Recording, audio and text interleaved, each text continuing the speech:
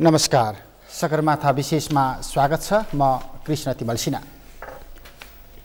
यति बेला मुलुक सङ्घीयताको सकसपूर्ण यात्रामा अघि बढिराखेको छ। विशेष गरी सङ्घीयता औपचारिक रूपमा तिन तहको निर्वाचन सम्पन्न भएर कार्यान्वयनमा आएपछिको पछिल्लो करिबन एक वर्षको अभ्यास हेर्ने हो भने सङ्घीयता कार्यान्वयनका सन्दर्भमा सबैभन्दा ठुलो समस्या कर्मचारी व्यवस्थापनमा देखिएको छ। निजामती कर्मचारीहरू सङ्घ सरकारले खटाएको अर्थात् तालुक मन्त्रालयबाट जिम्मेवारी तोकिएको स्थानमा गएनन् र यसको परिणाम प्रदेश सरकारलाई स्थानीय सरकारलाई कार्य सम्पादनमा समस्या पर्यो। अर्थात् यसअघि चुनावको समयमा भनिए जस्तै गाउँ गाउँमा सिंहदरबारको अनुभूति गराउने अभियान असफल भयो भन्ने गुनासो धेरै पटक आएको छ। यही गुनासो सम्बोधनका सन्दर्भमा सरकारले कर्मचारी समायोजन सम्बन्धी अध्यादेश जारी गरेको छ तर अध्यादेशलाई लिएर कर्मचारी ट्रेड युनियनहरूको असहमति आपत्ति टिका टिप्पणी सुरु भइसकेको छ। केही कर्मचारीहरू खुलेआम भनिराखेका छन् जिम्मेवार निकायको नेतृत्व सम्हालिराखेका कर्मचारी भनिराखेका छन्। यो निजामती कर्मचारी सेवाका क्षेत्रमा नेपाल सरकारले मचाएको कोत पर्व हो। यसले समग्रमा अहिले आएको अध्यादेशले के कर्मचारी व्यवस्थापनमा देखिएको तमाम समस्या समाधान गर्ला त? यही विषयमा संवादका लागि आज हामीसँग नेपाल सरकारका पूर्व सचिव एवं प्रशासनविद द्वारिकानाथ ढुङ्गेल हुनुहुन्छ। स्वागत छ यहाँलाई। धन्यवाद नमस्कार। समस्या हामीले योभन्दा अगाडि करिबन दुई महिना अगाडिको बसाइमा कर्मचारी समायोजनमा समस्या देखियो। कर्मचारीहरू परम्परागत भए परिवर्तन विरोधी भए नकरसाही प्रवृत्तिको पृष्ठपोषक भए भन्ने गुनासो आइराखेको छ सिंहदरबारको। के हो समस्या भनेर बहस गरेका थियौँ? त्यही प्रश्न। अध्यादेश आइसके पछाडि फेरि पनि त्यही प्रश्नले गाँजे सिंहदरबारलाई। के त अब? त्यही त अध्यादेश आयो। फेरि पनि कर्मचारीमाथि त्यही खालको आक्षेप तेर्सिराखेको छ। सरकारले अध्यादेश ल्यायो अब प्रविधिले व्यवस्थापन गर्छ व्यक्तिले गर्ने होइन भनेर सिंहदरबार भन्छ कर्मचारीहरू ट्रेड युनियनका नेताहरू भन्छन् हामी मान्दै मान्दैनौँ। प्रविधि भन्नाले के भन्न खोजे सफ्टवेयरबाट अब कर्मचारीको खटन पटन हुन्छ यहाँ सोर्स फोर्स चल्दैन। एक्काइस दिनभित्र तोकिएको ठाउँमा गएनौ भने तिम्रो जागिर जान्छ। यसलाई सरकारी पक्षको दृष्टिकोणले हेरौँ है पहिले। सरकारी पक्षले त्यो भनेको कुरा तपाईँले जे भन्नुभयो त्यो भनेको कुरा सही हो र सरकार दृढ हुन सक्यो भने र देखायो भने त राम्रै हो। अर्को कुरो तपाईँले एउटा विषय उठाउनु भयो त्यो भने प्रविधिले काम गर्छ भनेर। सफ्टवेयरले गर्छ अब। सफ्टवेयरले काम गर्छ। यसो हेरी ल्याउँदा हो पनि तर सफ्टवेयरमा सामग्री हाल्ने कसले हो त? कर्मचारी आफैले भर्छ अब। कुनै व्यक्तिले अनि त्यो व्यक्तिले हाल्ने हो नि। त्यस कारणले सरकारले अब यस किसिमको यान्त्रिक कुरा गरेर छुटकारा पाउला जस्तो मलाई लाग्दैन। र अर्कोतिर यति भन्दा भन्दै पनि राज्य सञ्चालन गर्ने जिम्मेवारी सरकारकै हो। राज्य राज्य त सञ्चालन हुनु पऱ्यो नि त। त्यो जिम्मेवारी सरकारकै हो र वर्तमान सरकार त्यसमा पनि वर्तमान सरकारकै हो र वर्तमान सरकारले कर्मचारी को व्यवस्था गर्नु परेको छ किनभने संविधान लागू भइसकेपछि तिन तहका सरकारहरू त गठन भएका छन्। त्यसमा कर्मचारी नभएर सरकारले त्यहाँ काम गर्न सकिएको छैन र का काम देखाउन सकेको छैन बजेट खर्च भएको छैन। खास अनुत्पादक खर्चमा बजेट खर्च भइरह होलान्। तर उत्पादक क्षेत्रमा जुन रूपमा खर्च हुनुपर्ने विकास खर्च हुनुपर्ने त्यो नभइरहेको गुनासो आइरहेछ। त्यति मात्रै होइन सङ्घीय सरकारकै बजेटको पनि विकास खर्चको धेरै प्रतिशत दस प्रतिशतभन्दा कम खर्च भयो।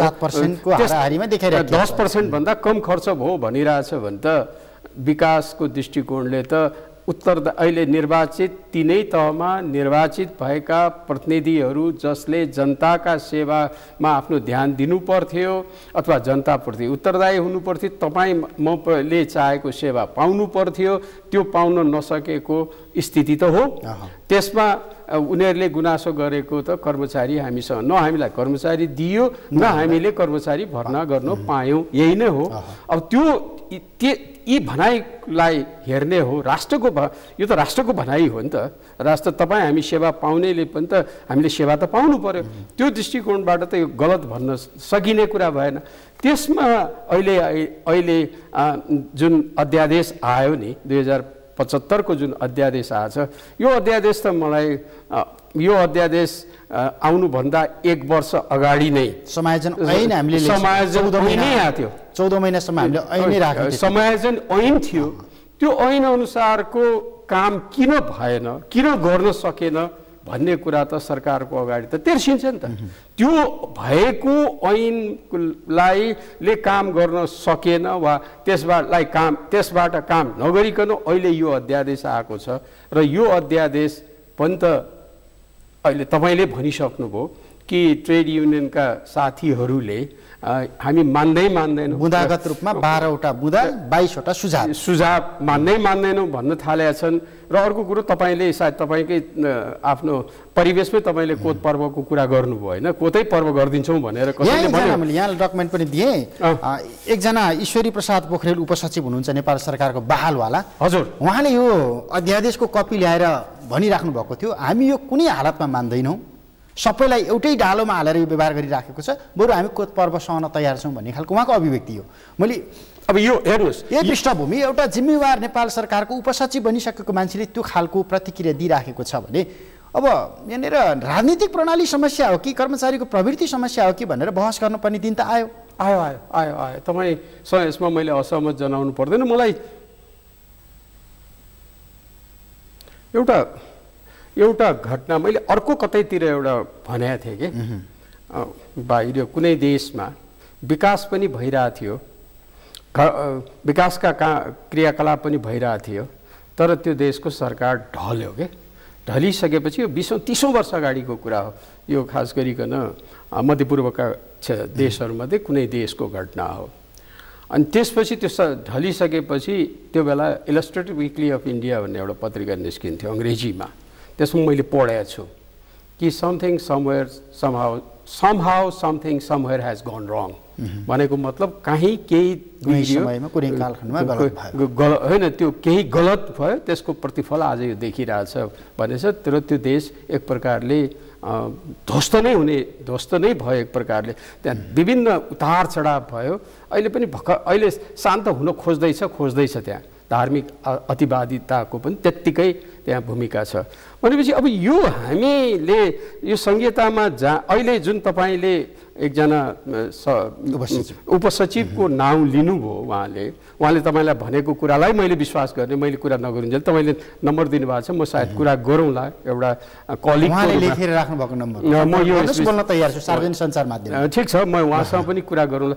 तर एकजना उपसचिव स्तरको कर्मचारीले जो कि जिल्लामा पठाउने हुने जिल्लाको हाकिम भएर पुरा जिल्ला हाँक्नुपर्छ उहाँले त्यसो भन्नुहुन्छ भने त सरकारले यो तपाईँ र मेरो कुराको आधारमा तपाईँले भन्नुभएको कुराको आधारमा तुरुन्त ईश्वरी प्रसाद पोखरेल उपसचिवज्यूलाई कारवाही गर्नुपर्छ। सरकारले कारवाही गर्नुपर्छ। ठिक छ। उहाँले त्यो भन्नुहुन्छ उहाँमाथि कारवाही हुनु पर्यो। र उहाँमाथि कारवाही गर्न सक्ने हिम्मत देखियो कि त उहाँका सही कुराहरू सरकारले सुन्नु पर्यो। सरकारले अहिलेको हिजोको सरकार होइन प्रजातान्त्रिक सरकारले कुनै आफ्नो कर्मचारीले त्यस किसिमको कुरा गर्छ भने उसलाई बोलाएर के हो? तिमी के खोजेको हो? तिम्रा के हुन् गुनासाहरू? ती गुनासाहरू बारेमा कुरा गर्नु होइन ती गुनासाहरू चित्त बुझ्दो गुनासा छन् भने सम्बोधन गरिनुपर्छ। होइन भने त उनीमाथि कारवाही हुनुपर्छ। अब अङ्ग्रेजीमा भन्छ नि एउटा लिटमस टेस्ट भन्छ क्या। त्यो लिटमस टेस्ट भनेको यो अध्यादेश यो अध्यादेशमाथिको उपसचिव ईश्वरी प्रसाद पोखरेलजीले तपाईँलाई जे प्रतिक्रिया दिनुभयो त्यसलाई मैले कुरा नगरेको हुनाले तपाईँले जे भन्नुभयो मैले स्वीकार गर्दैछु। त्यो स्वीकार गरेको आधारमा म सामान्य प्रशासन मन्त्री नेपाल सरकारका मुख्य सचिव सामान्य प्रशासन मन्त्री सङ्घीय तथा स्थानीय विकास मन्त्री हुनुहुन्छ सामान्य प्रशासन हेर्ने। उहाँ र सचिवलाई म के आग्रह गर्छु भने ईश्वरी प्रसाद पोखरेललाई तपाईँहरूले बोलाउनु पर्छ बोलाएर उहाँले भन्ने उहाँसँग सोध्नु पर्यो। सार्वजनिक रूपमा एकजनाले सार्वजनिक रूपमा सगरमाथाको कार्यक्रम चलाउने कृष्ण होइन त? कृष्ण शर्मा तिमल सिन्हा। कृष्ण तिमेल सिन्हाले भनेको कुरा के हो? एकाध दिनमा उहाँसँग हामी यो विषयमा संवाद खुलिआम संवाद तपाईँले संवाद सार्वजनिक संवाद तपाईँले संवाद गर्ने बेग्लै कुरा हो। तपाईँले त जसलाई पनि संवाद गर्नु छ। तर कुरो यहाँ राज्य सञ्चालनको लागि कर्मचारी एउटा थ्रेट हो। कर्मचारीको खटन पटनको कुरामा अधिकार राज्यको हुन्छ कर्मचारीको खटन पटन छ अनुशासनको कुरा हुन्छ राज्यको क तपाईँ हामीले तिरेको करबाट तलब भत्ता लिइरहेका व्यक्तिको यस्तो किसिमको भनाइ आउँछ भने त्यो भनाइमा केही सत्यता त्यो के हो? उनको भनाइ उनको गुनासोहरू के हुन्? ती गुनासाहरूलाई सुन्नलाई म तपाईँ मार्फत अनुरोध गर्छु मुख्य सचिव सामान्य प्रशासन मन्त्री मुख्य सचिव र सचिवलाई तुरन्त बोलाएर कुरा गर्नु पर्यो उहाँका गुनासा सही छन् भने तिस गुनासाहरू सम्बोधन गर्नु पर्यो होइन भने त दण्डित गर्नु पर्यो अनि राज्यको उपस्थिति हुन्छ। अब एकातिर राज्य राज्य यसरी अध्यादेश ल्याउँदै जान्छ र ऐनहरू कार्यान्वयन स्थिति यस्तो भयो हेर्नुहोस् न।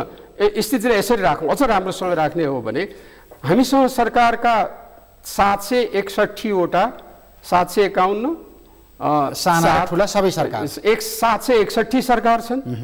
सात सय एकसट्ठी सरकारको अब वडाको त छोडिदिनुहोस् एकछिन वडाको सङ्ख्या अहिले बिर्सेँ मैले। पैँतिस हजार चाहन्छन् कति वडा छ।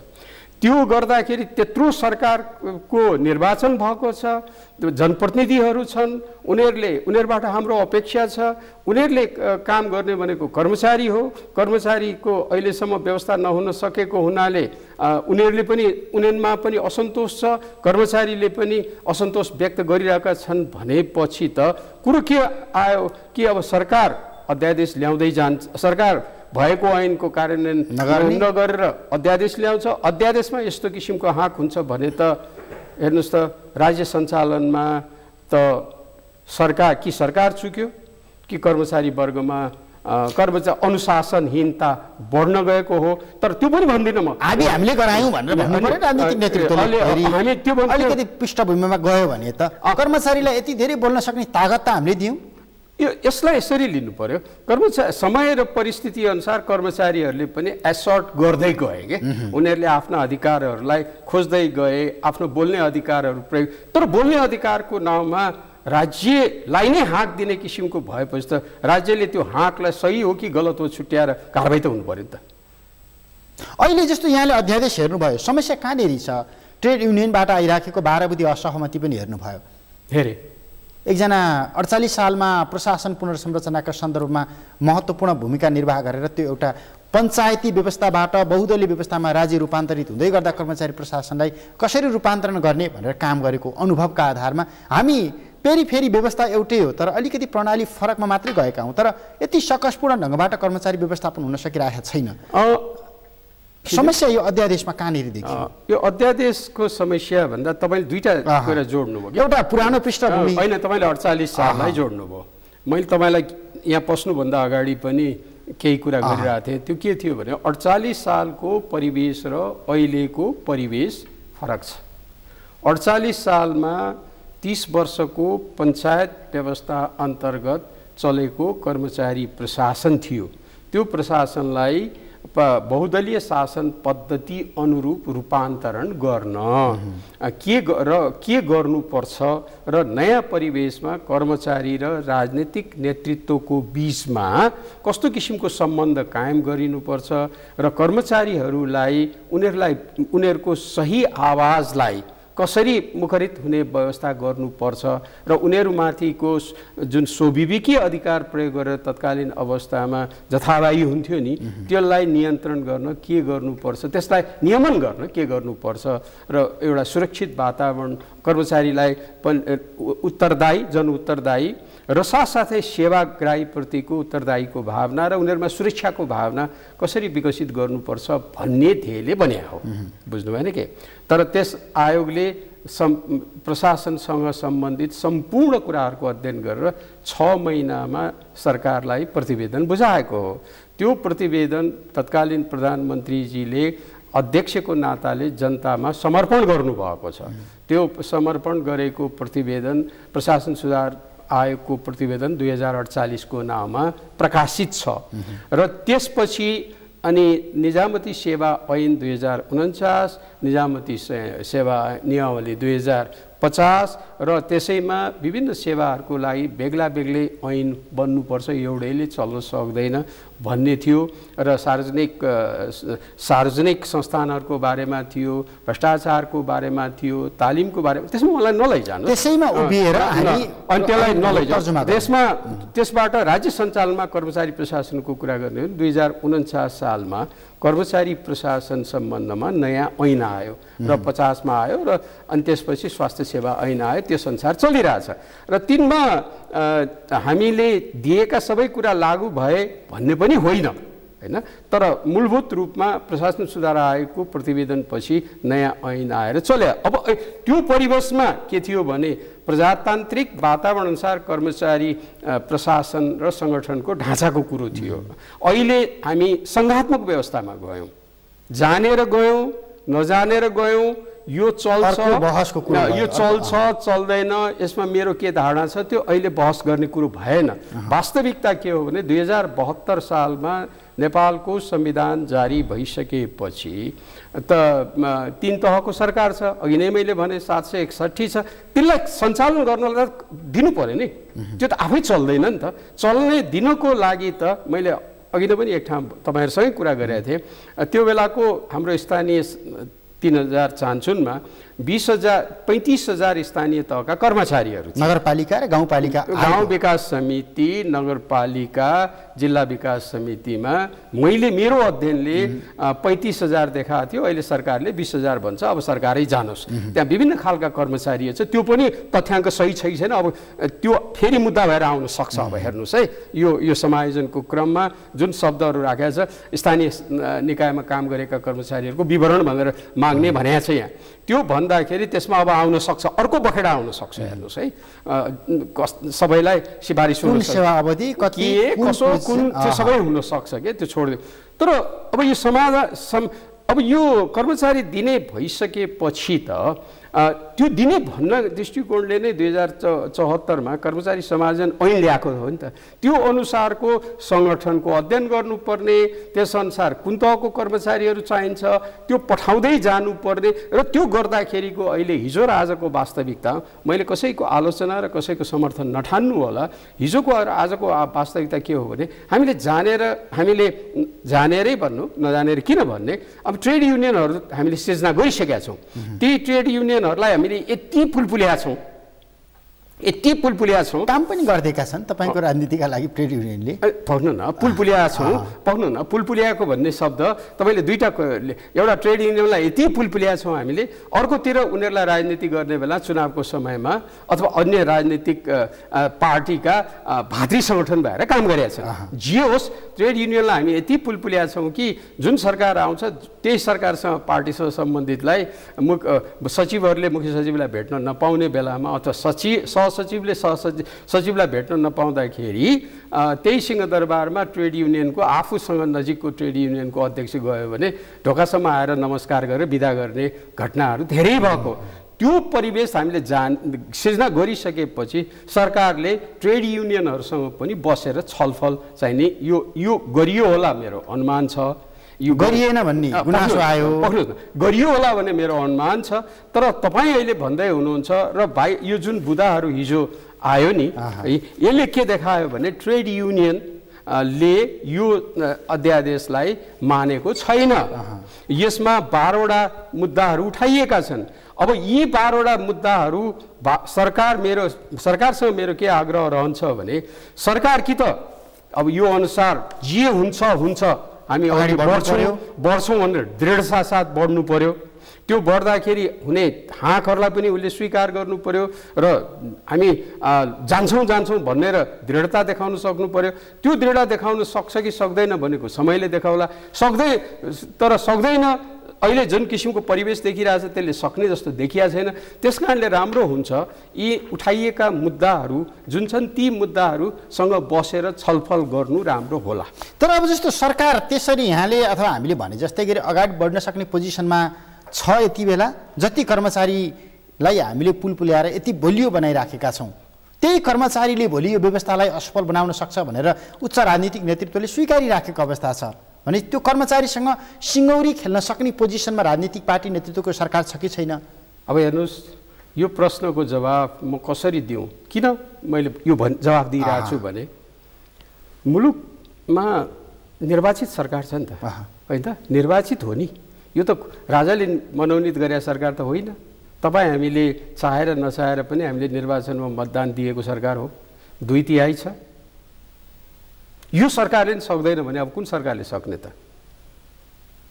त्यसैले त्यसैले माथि जालोमा पस्यो। पसेको मलाई लाग्छ मुलुकको यो अहिलेको संरचना भन्ने कुरा पनि माखे जालोमा फस्यो जस्तो लाग्छ मलाई। किन भने सर अब तर मेरो आग्रह के मेरो के रहन्छ भने म एउटा काम होस् भन्ने दृष्टिकोणले मेरो आग्रह कि सरकार अब मैले हेर्ने के हो? सरकार बलियो यो योभन्दा बलियो सरकारै हुन सक्दैन। म सोह्र सालमा त जुन बखत विश्वेश्वर प्रसाद कोइरालाको सरकार थियो त्यो बेला म एसएलसीको तयारी गरिरहेको विद्यार्थी थिएँ के पनि बुझ्दिनँ थिएँ। त्यो बेला मलाई थाहा पनि थिएन। अहिले त म अलिकति तपाईँले बोलाउन सक्ने भएर आएको छु भने अलिक बुझ्छु नि त। पञ्चायत पनि फटाएँ भनौँ फटाएँ। मैले पञ्चायत फटाएँ के भन्यो? पञ्चायत मैले एसएलसी पास गर्दा पञ्चायत सुरु भएको हो। मैले सहसचिव हुँदा पञ्चायतकैमा गरेको हो।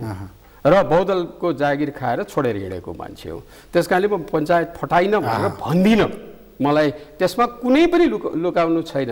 तर मेरो प्रश्न म केमा आइरहेको छु भने त्योभन्दा पनि हामीले अब यो विश्वेश्वर प्रसाद कोइरालाको सरकार पछि त यो सरकार दुई तिहाई छ। यो सरकार ले गर्न सक्दैन भन्छौँ। यो सरकारले पनि खुट्टा टेक्न सकेन भने त संविधान कसरी लागू हुन्छ? अझ विश्वेश्वर प्रसाद कोइरालालाई सुविधा थियो दरबार थियो त्यति बेला। थियो। अब त अहिलेको सरकारलाई त्यो छैन। शीतल निवास मात्रै छ। अब यो शीतल निवास अझ सहजतापूर्वक शासन गर्ने सन्दर्भमा। अँ त्यो छ र अब यसमा यसमा यसमा चाहिँ नपसौँ किनभने यो सरकारलाई राज्य सञ्चालन गर्नलाई सहजता अरू कसैको मुख हेरिरहनु पर्दैन। प्रधानमन्त्री ओलीजीले राज्य सञ्चालन गर्न सक्नुहुन्छ। र उहाँको मन्त्रालय जो छ मन्त्री हुनुहुन्छ पण्डितजी उहाँले कर्मचारी प्रशासनलाई दृढता साथ यसलाई लागू गर्छु भन्यो भने लागू गर्न गर्नुपर्छ भन्ने मलाई लाग्छ। तर सक्नु छ कि सक्नुहुन्न? कर्मचारीले सरकार चलाउँछ कि सरकारले कर्मचारी चलाउँछ। त्यो चाहिँ परीक्षा भयो। अर्को अन्त्यमा जस्तो दुई हजार उन्चास सालमा आएको त्यो ऐन यहाँले भन्नुभयो अडचालिस सालको पेरि पेरि फेरि विगतको घटना अर्कै थियो कर्मचारी तन्त्र अर्कै थियो संरचना अर्कै थियो परिस्थिति अर्कै थियो। तर अहिले जुन पुस्ता निजामती सेवामा छ करिबन एक लाखको हाराहारीमा त्यो त उन्चास सालपछि बहुदलीय प्रजातन्त्र आइसके पछाडि सेवा क्षेत्रमा प्रवेश गरेको जनशक्ति हो। रूपान्तरण अहिले केही पुराना पनि छन् होला। तर निर्णायक फोर्स त त्यही छ। मान्छु मान्छु। तर किन रूपान्तरण हुन यति सकसपूर्ण भइराखेको छ? संक्षेपमा। यो प्रश्न अङ्ग्रेजीमा भन्छ नि वान मिलियन डलर भएको प्रश्न भयो क्या? किन म भनिरहेको छु भने यसको जवाब वान मिलियन डलरको प्रश्न तपाईँ गर्दै हुनुहुन्छ। यसको जवाब छ पनि छैन पनि जवाब छ यस मानेमा कि अडचालिस सालपछि यति अध्ययनहरू भएको छन्। स्वदेशीहरूले गरेका छ विदेशी पैसा छ करोडौँ खर्च भएको छ। तिनले यसो गर्नुपर्छ यसो गर्नुपर्छ यसो गर्नुपर्छ रूपान्तरणको सिलसिलामा भनेर दिएका त्यो प्रतिवेदनको थाकका थाक छन्। मन्त्रालयमै होला। थाकका थाक छन् हामी अनुसन्धान गर्नेहरूले फेला पा हामीसँग पनि कैयौँ होला नभएका कति होलान्। कर्मचारीलाई पनि सायद हामी परिवर्तन हुनुपर्छ होला भन्ने कतै न कतै छ होला।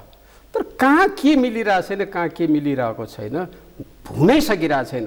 र अहिलेका नेताहरूले के भन्छन् भने हिजोकै यो ह्याङओभर भन्छ। यो भनेर त अब सुख पाउँदैनन्। र अहिले हालसालै मैले कुनै उसमा पढेँ पत्रिकामा पढेँ कति सही हो थाहा छैन। पत्रिकाले कति सही गर्छन् प्रकाशित गर्छन् थाहा छैन।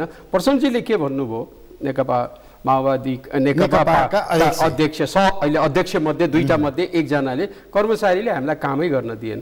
मेरो प्रश्न उहाँलाई प्रति प्रश्न के छ भने कर्मचारीले काम गर्न दिएनन् भने उहाँसँग दुई तिहाई सरकार बहुमत छ ल्याउनुहोस् खोज्नुहोस् न। खोज्नुहोस्। होइन भने दोष लगाउन त मिल्दैन जिम्मेवारी उहाँको हो। र कर्मचारी वर्गमा पनि त्यो चे मलाई लाग्छ यो कि उनीहरूलाई पनि थाहा छ परिवर्तन भएको छ परिवर्तन हुनुपर्छ भन्ने छ। सायद यस्तो भयो होला। यो यो शब्द मैले जे प्रयोग गर्न खोजिरहेको छु ठिक प्रयोग गरिरहेको छैन कि भन्ने पनि मलाई डर छ तर आइहाल्यो प्रयोग गरौँ। यो दुई लेथार्जी छ कि जस्तो लाग्छ मलाई। चल्ता है भन्छ नि हिन्दीमा। यो नेतृत्व वर्ग पनि आफ्नै के के स्वार्थ कहाँ निरन्तरतामा क्रम भङ्ग होइन निरन्तरतामा निरन्तरता यो यो राजनीतिक वर्ग पनि कहाँ कहाँ के के स्वार्थहरू छ कसलाई के गर्नु छ कसलाई के गर्नु छ त्यसैमा ध्यान। प से यो पद्धति परिलाई सुधार गर्ने भन्दा पनि छेडी कहाँ कसलाई के राम्रो भन्दा हाम्रोमा मेरो को छ भन्ने खोज्ने त्यस्तै त्यस्तैमा गयो। कर्मचारी तले पनि के देख्यो भने गरे पनि के नगरे पनि के भन्ने हुन्छ नि त्यो भावनाले यो दुइटै भावनाले गर्दा यस्तो भएको हो कि जस्तो मेरो अनुमान छ। समय सकिएको छ। विषय धेरै ठुलो विषय थियो तर भोलिका दिनमा फेरि बहस गरौँला। धन्यवाद। दर्शकबिन सगरमाथा विशेषको आजको समय सकियो। आज हामीले समग्रमा सरकारले कर्मचारी समायोजनका लागि ल्याएको अध्यादेश। अध्यादेश आइसके पछाडि कर्मचारी समायोजन ऐन दुई हजार चौहत्तर कार्यान्वयन नगरिकन कर्मचारी ट्रेड युनियनहरूसँग छलफल नगरिकन सरकारले किन अध्यादेश ल्यायो? हामी यो मान्दैनौँ भनेर कर्मचारीबाटै अहिले व्यक्त भइराखेको असन्तुष्टि केन्द्रित संवादमा थियौँ। कर्मचारी व्यवस्थापनका सन्दर्भमा समस्याहरू कहाँ कहाँ छन्? यही विषयमा हामी केन्द्रित थियौँ। समय अनि संवादका लागि पूर्व सचिव एवं प्रशासनविद द्वारिकानाथ ढुङ्गेललाई फेरि पनि धन्यवाद दिन्छु। नेपालको पहिलो न्युज च्यानल सगरमाथा टेलिभिजन हेर्दै गर्नुहोला। नमस्ते।